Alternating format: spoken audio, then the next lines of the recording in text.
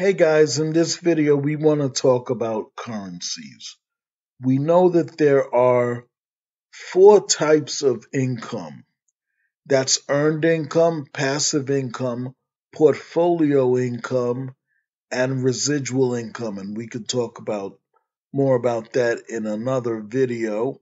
But in this one, we want to complete the series on portfolio income. We know portfolio income includes stocks, which is primarily what I cover in this channel. They include commodities, of which there is a um, video on that in the channel, which you can find. And now we're going to talk about the other, which is currencies. So, what are currencies? Currency is the money of a particular country. Every country has their own currency, such as US, we use the dollar. Unlike stocks and commodities which move individually, currencies always work in pairs when trading, not when spending. Um, we know the US dollar is one thing. You go to a store with a dollar, you spend it to buy something. But when trading in the currencies market, they always work in pairs. In a pair, only one currency can be successful at a time. So if one is moving up, the other is moving down, and you'll see a little more about that later. And currencies are transacted in pips, which is a fourth of a decimal place. Most currencies move over four decimal places. The Japanese yen moves over two decimal places. So, in the US dollar, we have dollars and cents, and we know the cents are in two decimal places. But when working in the currencies market, which is pips, it moves over four decimal places, including the US dollar. The Japanese yen is two decimal places, but most other currencies are four. So let's talk about a few different currency pairs. We have the euro against the USD, which is the US dollar. And we know the euro is what they spend in the European Union. A number of countries in euro um, that share one currency. They're they're a union. We have the U.S. dollar against the JPY, which is the Japanese yen. We have the British pound.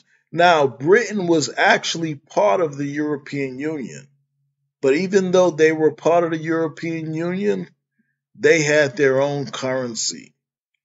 And now they've done a Brexit. It's been a few years now, I believe. They did Brexit, which means they exited the European Union. So they're standing on their own now. They always had their own currency, even when they were in the Union, but now they're not in the Union anymore.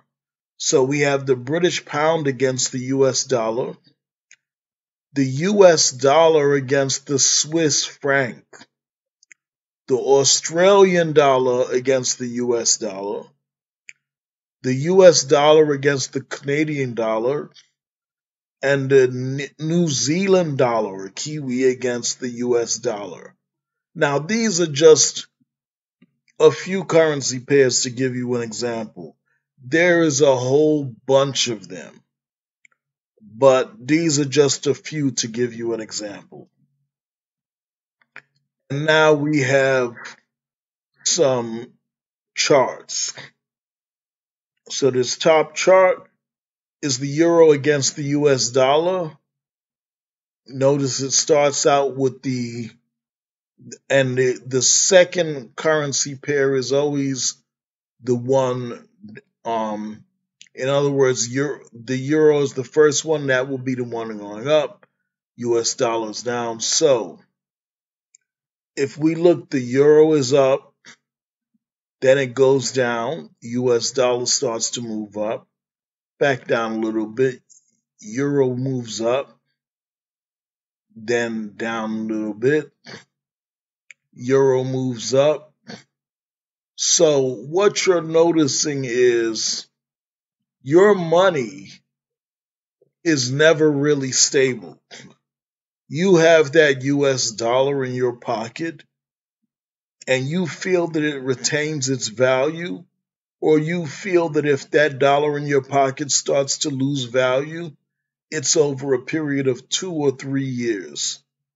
Actually, that dollar in your pocket is changing value just about every minute of every day. It's changing value and it's changing value against the other currencies that are in the market. These currencies are continually fluctuating.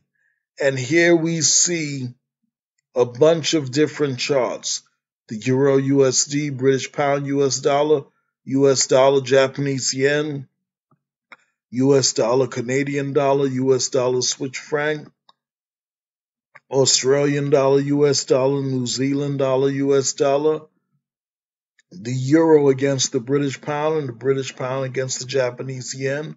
So here I'm just giving you an introduction into what currencies are about.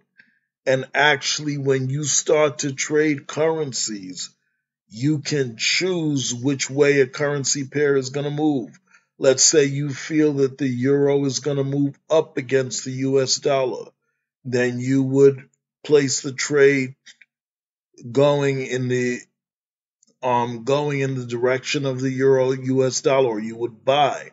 If you feel that the US dollar is going to go up against the euro or actually it's going to move down I should say, then you would sell. Right? If you feel the second one is the one that's going to gain power, you would sell. So basically, that's how currencies works. I'm just giving you a brief introduction to it. There's lots of things that you could find out there which will go into much more detail concerning it. But this is just to give you a brief explanation of how currencies work. Okay, guys, look forward to seeing you in the next video. Have a great day.